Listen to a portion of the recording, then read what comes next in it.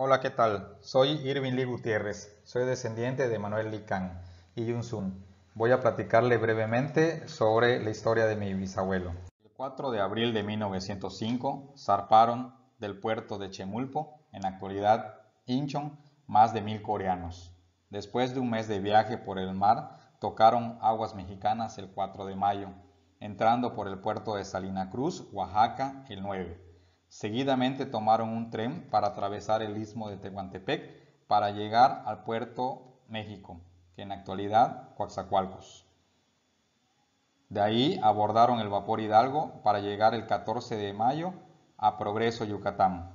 Después de todas las inspecciones médicas, en el reporte oficial contabilizaron 1.019 coreanos, quedando en el lazareto 73 individuos por tener temperatura mayor de lo normal y por indicaciones médicas iban a permanecer ahí de 3 a 5 días para luego alcanzar al grupo de 946 personas que estaba por viajar a la ciudad de Mérida para su distribución en 25 haciendas enequeneras.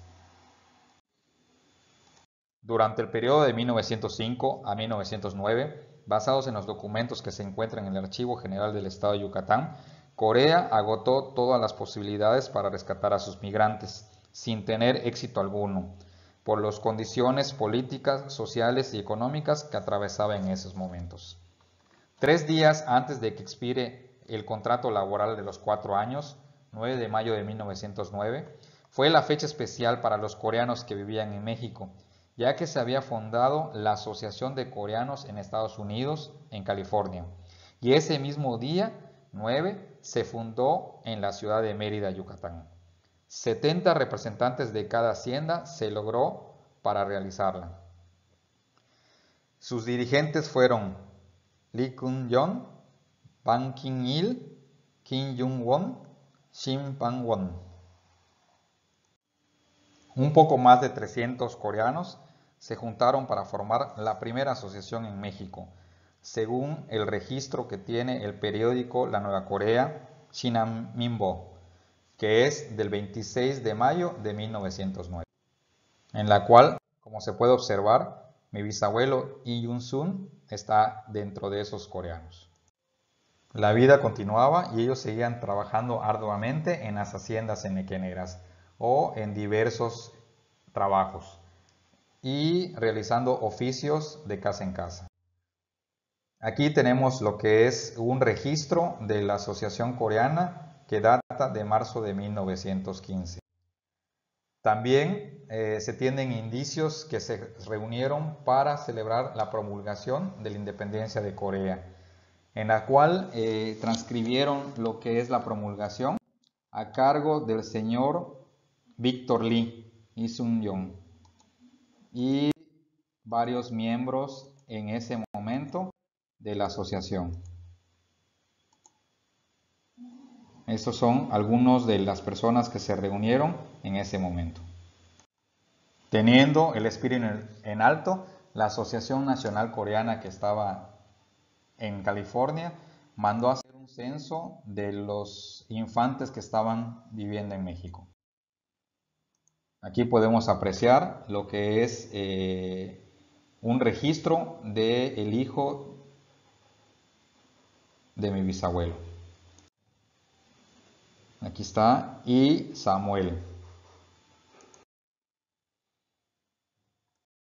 Mi bisabuelo, a pesar de tener varios oficios, trabajar como chiclero, trabajar como enequenero, eh, se afilió al sindicato de trabajadores acasillados de la hacienda de Siticapchen para que tuviera un poco más de chance de trabajar. Esta credencial es de él de 1932 a 1935. En 1930, casi al perder la esperanza de regresar a Corea, muchos de los coreanos que estaban viviendo en Mérida se empezaron a juntar para, para realizar donativos y poder tener un espacio donde pueda haber la convivencia y se puedan reunir. Estos son los registros de 1930 de los donativos para tener el juega. Con mucho esfuerzo pudieron juntar 2.800 pesos que en ese momento costaba lo que es el predio. Aquí están las escrituras donde se realizó la compra del inmueble. En la siguiente imagen podemos ver el predio que compraron los coreanos en 1934 por la cantidad de 2.800, que hoy funge como el museo conmemorativo de la inmigración coreana.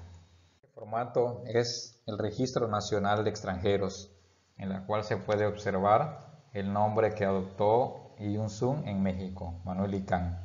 Algunas características de dónde viene, cuál es su nacionalidad, su fecha de nacimiento, la edad que tenía en 1942 cuando se hizo el registro, eh, lo que es eh, algunas características raciales y alguna seña particular era tuerto del ojo derecho.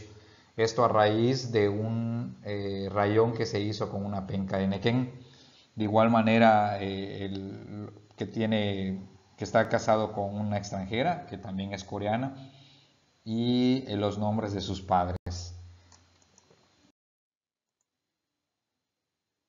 En la siguiente hoja podemos ver algunas eh, personas conocidas o algunos vecinos que tenía o algunas personas donde él trabajó, así como sus direcciones.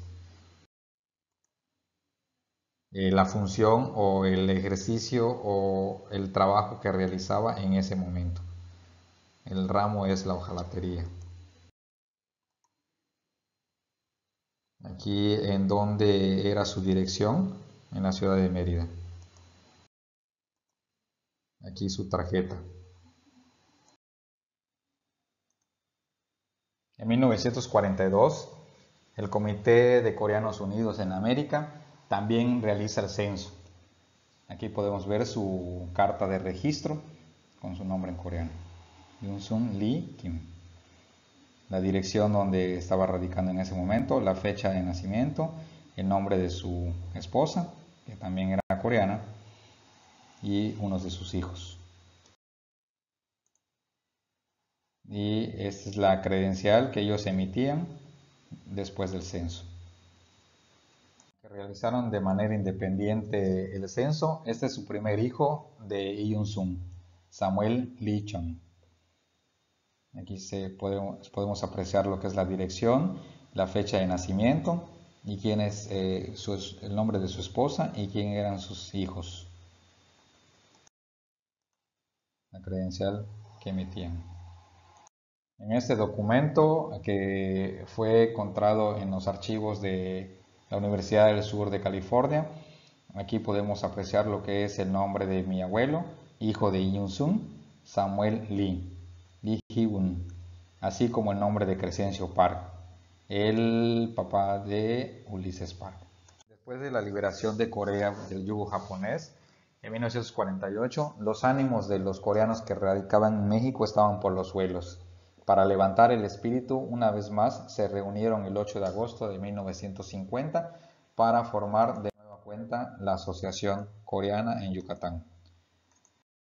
Para esto establecieron unos nuevos estatutos, en las cuales fueron eh, miembros fundadores las siguientes personas, incluyendo mi abuelo, mi bisabuelo Manuel Lee, o Yun Sun, su primogénito Samuel Lee, su segundo hijo Paulino Lee y algunos familiares que estaban en ese momento. Dando resultado lo que es eh, la incorporación del registro público de la propiedad, los estatutos de la Asociación Coreana de Yucatán. Aquí podemos ver la fecha fundada el 24 de agosto de 1950. Aquí el marco legal de donde estaban eh, incorporándose y los, eh, la lista de los miembros fundadores de la asociación de 1950. Las credenciales que en su momento fueron expedidas para algunos miembros de, la asociación. En este caso es la credencial número 7 que acredita la personalidad de Manuel Kang o Yun Sung como socio fundador. El primogénito Samuel Lichon o Ijibun. Pertenecer a la Asociación Coreana en Yucatán implicaba tener cierto tipo de compromisos y cierto tipo de beneficios. Los compromisos que tenían era pagar su tribulación como ciudadano coreano, pagar su afiliación como miembro de la asociación en, función, pero también entregar o dar donaciones para los movimientos que en Corea estaban surgiendo. Como se puede apreciar, desde 1909 hasta 1945 se hicieron donaciones. Aquí los que están eh, marcados con rojo son las donaciones que hizo mi bisabuelo y un Zoom.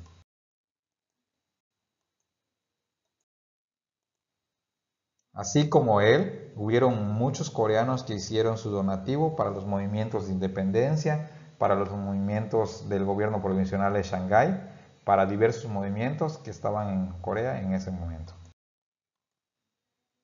Aquí podemos apreciar las listas de las personas que donaron dinero. Los que están encerrados en rojo, en semicírculos, es la donación que hizo mi abuelo. Aquí podemos ver el primero de enero de 1942. 8 de julio de 1942. 21 de enero de 1943. Entonces, varios coreanos hicieron muchas donaciones para los movimientos que estaban en ese momento Corea sufriendo.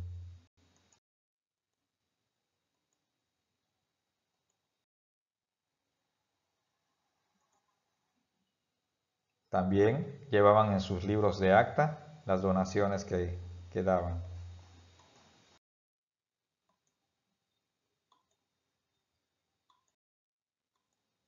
Y en la Asociación Nacional Coreana emitían este tipo de recibos.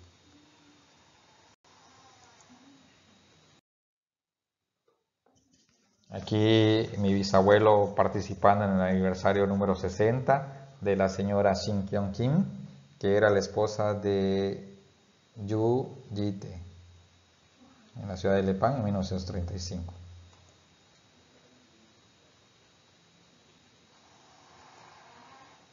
En el cumpleaños número 60 de la esposa de Yun Sun, Sonny Chon o María Chon. En la parte de atrás se puede apreciar a sus tres hijos con sus respectivas esposas. En 1905, Yun no llega solo, llega con sus padres y con un hermano mayor. Podemos ver el árbol genealógico. Las personas que llegaron de 1905, sus hijos, sus nietos y sus bisnietos. Aquí el hijo de Yun-sun, Samuel Lichon, que se encuentra en el recuadro marcado del lado izquierdo, y su nieto, Samuel Lichan. En este cuadro podemos observar fechas importantes para los migrantes coreanos radicados en México. El 4 de mayo, que es la llegada de los más de mil coreanos a costas mexicanas siendo el 14 de mayo la llegada a Progreso, Yucatán, donde serían distribuidas en 25 haciendas enequeneras. En 1909 termina lo que es el contrato de trabajo, en la cual algunos coreanos eh, pudieron eh, pagar su deuda y trabajar en otras actividades. En 1909 se funda lo que es la Asociación Coreana en México, siendo esto eh, publicada en el diario Nueva Corea el 26 de mayo de 1909. En 1910, el 20 de noviembre, inicia la Revolución Mexicana, en la cual varios coreanos eh, participaron en esa guerra. En 1915 1919 está Salvador Alvarado Rubio, que promulga las leyes de contenido social que fueron precursoras de la, Constitución de 1917 y que en las más importantes fueron denominadas la ley agraria, la ley de hacienda, la ley de trabajo, la del catastro, la ley orgánica de los municipios del Estado. Pero para los migrantes coreanos les quitó la deuda que tenían con los hacendados enequeneros. En 1919 inicia lo que es el movimiento de independencia en Corea que eso hace, o hay, a raíz de todo eso, hace que los coreanos se movilicen y empiecen a aportar eh, donativos hacia Corea. De igual manera se hace un censo de los niños, de los infantes que estaban en ese momento. En 1921 parten un poco más, un poco menos de 290 coreanos hacia Cuba. 81 personas provenientes de Veracruz, 98 de frontera Tabasco, 14 de Coaxacualcos, 95 de Mérida, con otros dos coreanos en 1921, enero. Llegando el 25 de marzo por el vapor Tamaulipas, arribando en Manatí, Cuba. Eh, ¿Por qué son un poco más de 90 coreanos? Porque estamos hablando que eran los coreanos originales entre sus esposas, descendientes y mucha gente que fue con ellos en ese grupo. En 1932 compraron la propiedad eh, que funge ahorita como Museo de la Migración Coreana en Yucatán con un valor de 2.800 pesos. Esto fue por las donaciones que hicieron muchos coreanos radicados en Mérida. Pero en el acta de compra-venta aparecen los nombres de Pedro Yu Kim, José Kim, Manuel Lee, Manuel Kim y Antonio Kong. En 1934 el presidente Lázaro Cárdenas empieza el programa de nacionalización de la industria petrolera, la reforma agraria y la expansión industrial, que esto también es benéfico para algunos coreanos. En 1942, eh, por la Asociación Nacional Coreana con sede en Los Ángeles, empieza a hacer un censo en la cual están incluidos los coreanos, muchos coreanos que radicaban en México. En 1950, el 8 de agosto, se registra eh, la Asociación Coreana de Yucatán. En 1940 a 1960 empieza una migración dentro de lo que es el país de México, siendo Tijuana, México, Campeche, Coatzacoalcos, eh, Quintana Roo, algunos algunas ciudades donde fueron los coreanos. En 1997 se crea lo que es la Asociación Coreana en Mérida, CORMEX, que ya no hay eh, coreanos originales, sino ahora son varios descendientes coreanos, que hasta la fecha funge. En el 2005 celebran el centenario de la migración coreana y en el marco de esa festividad eh, se crea la Asociación de, Moderna de Campeche, eh, Coaxacualcos. Desde 1905 y hasta la creación de la primera asociación eh, coreana en México, en este caso Yucatán, eh, Manuel Lee o Iyun Sung ha participado activamente en todo el movimiento. de igual manera ha contribuido en la formación y la creación de lo que es eh, el FEGAM. También aportó lo que es eh, su donativo para los diversos movimientos que tuvo en Corea, así como diversas actividades que hizo la Asociación eh, Nacional en México.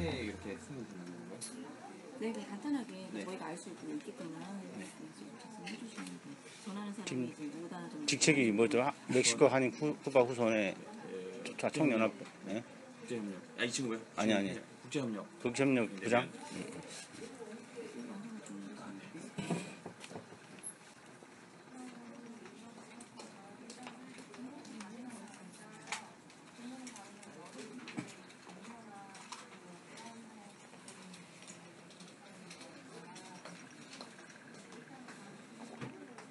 할머니, 할아버지가 다 있네, 이게. 있어요.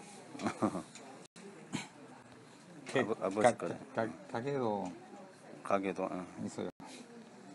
이미 이제 엔젤 장, 장영진 씨는 받았어요. 큐바, 큐바. 큐바에서. 이거 혹시 작년에. 여기 이렇게 이름이랑 번호랑 매칭하기 쉽게 적어놨거든요. Con la guía y la asesoría y la buena voluntad del profesor Kim Jae-gi de la Universidad de Chonam, Pude integrar toda la documentación necesaria para registrar a mi bisabuelo Manuel Lee y un Zoom en el Ministerio de Patriotas, teniendo un positivo resultado. Te agradezco enormemente las enseñanzas y la dedicación que tiene el investigador Kim Jae-gi.